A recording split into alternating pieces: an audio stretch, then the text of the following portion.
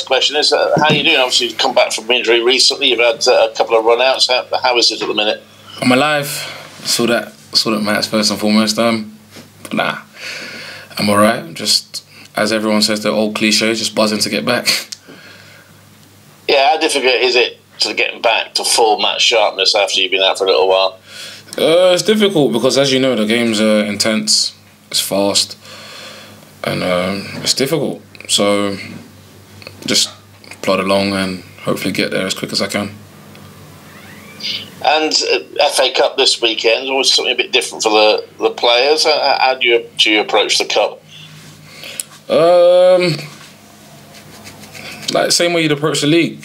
It's important to win because, as they say, like the magic of the cup, you could get anyone in the next round, and we know, like first and foremost, we've got to look at this round because um, it's not going to be easy. Because um, the first thing that they're going to say is they got nothing to lose. They're coming up against a good championship club, so all the pressure's on us. But is it?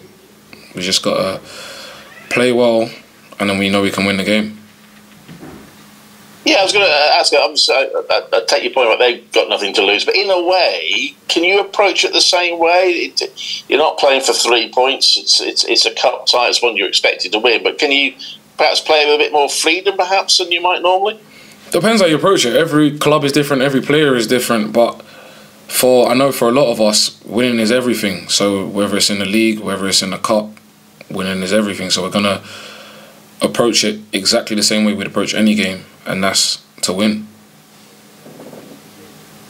And, and once, obviously, since you came back from the World Cup, the results have been a little bit mixed, uh, haven't they? You've got got a couple of draws. What's the feeling among the, the squad about the way you're playing at the moment? We're still alright. That's football. Like uh, form fluctuates with every single player, every single club, and I'm sure it shouldn't be too long before we're all back fully, fully fire and hopefully getting some wins under our belts. I guess the scoring goals, um, and as, as, as a wing back, I know your, your opposite wing back scored, of course, against Bristol City, but do you feel some responsibility to try and, and create chances and, and get that, that goal scoring going again for the team? Um, um, yeah I know because at the same I want to score because it's been a while since I scored and bit as a scored, so it's giving me a bit of inspiration. But I just want the team to win. I just want to play well, and then uh, we get three points. It's not. I don't feel like it's about just me individually, because uh, at the end of the day, I'm an individual in a team. So uh, I just want us to win. And uh, you could come across Kyle's uh, brother. You might be playing on, on the left side of, of defence. Callum, that's going to be a strange one, isn't it?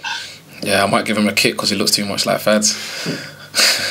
but nah, it's, uh, it's just football. You come up against uh, people's family, you come up against your own friends, other people's friends. So it's just uh, it's just another game at the end of the day. And there will be a bit of a cup tie atmosphere there. I think we've got four and a half thousand Wrexham fans expected. Will that will that inspire you? Um, they won't be gunning for us, so uh, I don't know if it will inspire me. But nah, it's just another game. We've had a four and a half travelling fans before, so um, we just got to quieten their crowd as quickly as possible and um, get to playing our football.